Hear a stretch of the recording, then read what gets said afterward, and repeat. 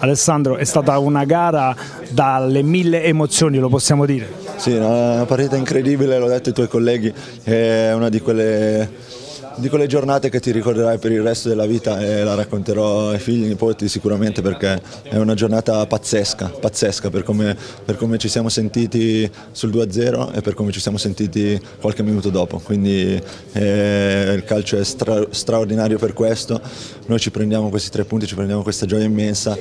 Sappiamo però che nel senso eh, domani è già lunedì e sabato arriva un, una corazzata alla, alla Recchi, quindi dobbiamo cercare con, tutti, con, tutte le forze di azzerare e prendere soltanto la parte eh, positiva di una vittoria, di questa vittoria e, e cercare di trasformarla per sabato. Ecco, hai detto sappiamo come ci siamo sentiti sul 2-0, come vi siete sentiti, cosa vi siete detti per, perché la Salernitana non è nuova, sesta rimonta, questa volta ha portato a termine addirittura eh, il lavoro portando a casa i tre punti.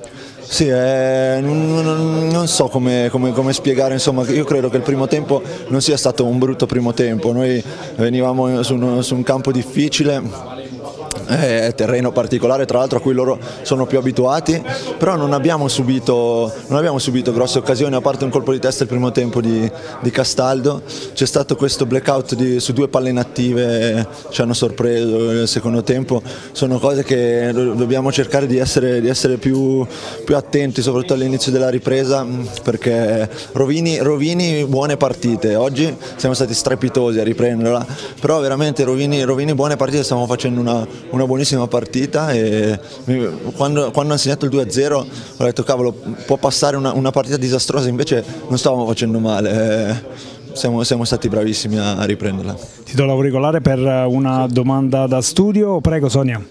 Sì, allora, eh, complimenti anche a te, eh, bella prestazione, eh, belle le tue parole ehm, sul 2-0 lo hai detto, eravate un po' eh, affranti, no? un risultato che pesava. Quanto è servita la freschezza, parlo di freschezza mentale dei, dei giocatori che sono subentrati per darvi una mano no? a reagire?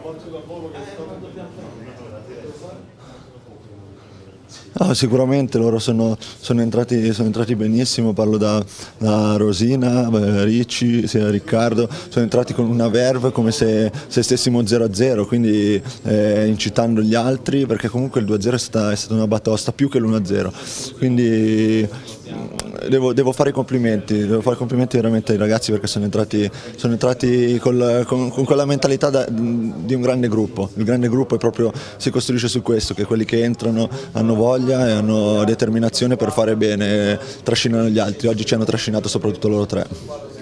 Ciao Bernardini, complimenti anche da parte mia. Sul 2-0 ovviamente quello che si può dire Buonasera. in televisione, cosa vi ha Grazie. detto il mister? Cosa vi diceva quando avete preso il secondo gol, il gol di Laverone, per incitarvi? Cosa vi ha detto? Ma, ma eh, io sinceramente c'era, talmente tanto caos in campo che la, la panchina l'ho sentita poco, dico la verità, eh, però immagino cosa, come, come, si sia potuto sentire lui, credo si, si sia sentito come noi, insomma, che stavamo rovinando una, una prestazione che tutto sommato stavamo, stavamo facendo. E questa era, era, la cosa più brutta perché un conto se avevi subito per, tutto, per tutti i minuti precedenti, ma noi avevamo subito pochissimo e abbiamo preso due gol su due palle inattive, assolutamente evitabili. Quindi, eh, questo credo che sia la parte, la parte negativa di oggi da, da, da, migliorare sicuramente. Però oggi, ripeto, l'ho detto, detto, ai colleghi, eh, le altre volte avevo criticato il fatto che andavamo sempre in svantaggio, oggi veramente voglio elogiare il fatto che abbiamo rimontato qualcosa di incredibile.